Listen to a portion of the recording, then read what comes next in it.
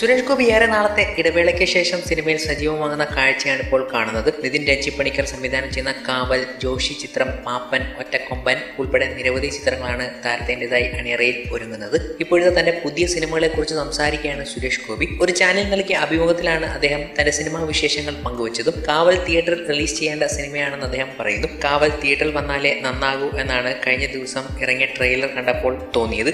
ഞാൻ ബിഗ് സ്ക്രീനിലാണ് കണ്ടത്. ബിഗ് സ്ക്രീനിൽ സിനിമകൾ ഉത്സവ പ്രതീതി ഉണ്ടാക്കും. ആ ഉത്സവ വ്യഥ അനുഭവിക്കുന്ന ഒരു വിഭാഗത്തിന് സിനിമ എന്ന് പറയുന്നത് ഇൻഡസ്ട്രിയുടെ വളർച്ചയ്ക്ക് ഉതകും. ഒരു ഉത്സവം കൊണ്ട് ഒരുപാട് ഉത്സവങ്ങൾക്ക് കാരണമാകും എന്ന് അദ്ദേഹം പറഞ്ഞു. വരനെ ആവശ്യമുണ്ട് എന്ന ചിത്രം തന്നെ സംബന്ധിച്ച് ജനങ്ങൾ പ്രതീക്ഷിക്കാത്ത ഒരു പാക്ക് ആയിരുന്നു. അതിനാൽ ആ ചിത്രം മികച്ച വിജയം നേടി. കാവൽ വേറിട്ട രുചി ആയിരിക്കും എന്ന് അദ്ദേഹം പറഞ്ഞു. കാവൽ ഒരു അവിയൽ ആണെങ്കിൽ ഒറ്റക്കൊമ്പൻ നല്ല മധുരമൂറുന്ന തേൻവരിക്കായിരിക്കും. അല്പം മതം പിടിപ്പിക്കുമായിരിക്കും എന്ന് സുരേഷ് ഗോപി പറഞ്ഞു.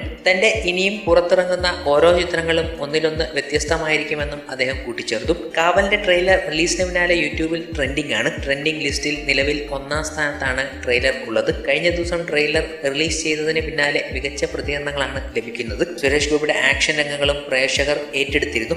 ഒരു തിരിച്ചുവരവ് ചിത്രം തന്നെയെന്നാണ് സുരേഷ് ഗോപിയെ സംബന്ധിച്ചിടത്തോളം ട്രെയിലർ പുറത്തിറങ്ങിയപ്പോൾ ആരാധകർ പറയുന്നതും. കാവൽ ഒരു മാസ് ആക്ഷൻ ത്രില്ലർ ആയിരിക്കും എന്നതിൽ ഉറപ്പ് നൽകുകയാണ് ട്രെയിലർ ചെയ്യുന്നത്. തമ്പാൻ എന്ന കഥാപാത്രത്തെയാണ് സുരേഷ് ഗോപി ചിത്രത്തിൽ അവതരിപ്പിക്കുന്നത്. തമ്പാൻ സുഹൃത്തായി രഞ്ജി പണിക്കരും. ചിത്രത്തിലുണ്ട്. തൊണ്ണൂറുകളിലെ സുരേഷ് ഗോപിയുടെ മറ്റൊരു രൂപമാണ് കാവലൂടെ അവതരിപ്പിച്ചിരിക്കുന്നത്.